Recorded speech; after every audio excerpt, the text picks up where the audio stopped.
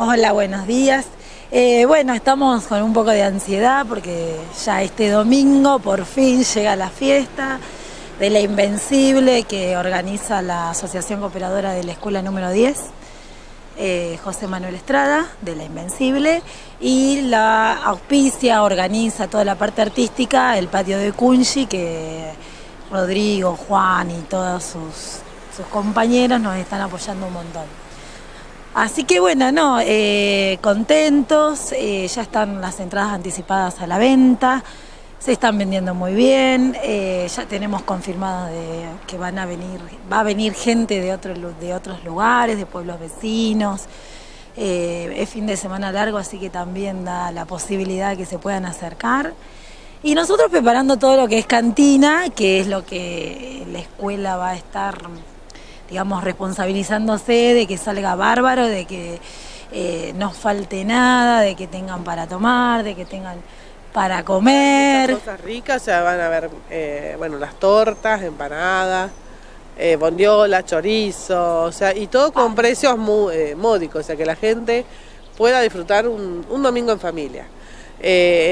aparte de la gente de estar disfrutando de ese día, del espectáculo, porque hay artistas muy buenos, eh, están ayudando a una escuela en donde en este momento necesitamos eh, para restaurarla y o es como que hay dos fines, ¿no?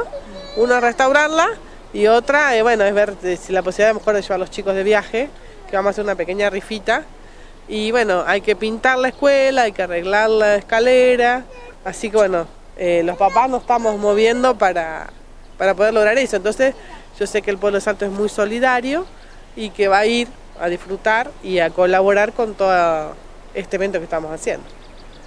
Queremos agradecerles y les preguntamos día, horario, dónde se pueden adquirir las entradas y hasta qué hora aproximadamente va a durar. Eh, bueno, es el domingo, a, a, partir de las 11 de la mañana ya se empiezan a abrir las puertas, así que las puertas.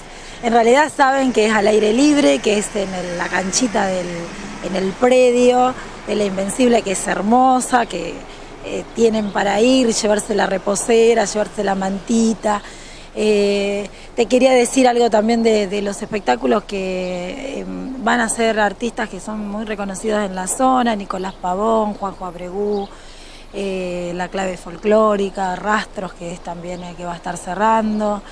Y, y bueno, las entradas están, las pueden adquirir en la canchita de Calú, eh, por medio de Facebook con eh, el patio de Kunji y bueno, si no nosotros a la escuela, los padres y el personal de la escuela también tiene entradas.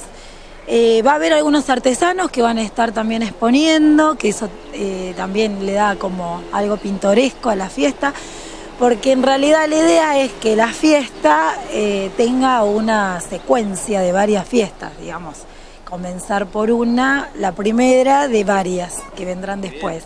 Así que tenemos, digamos, como que esa ilusión. Se viene el veranito, así que acompaña.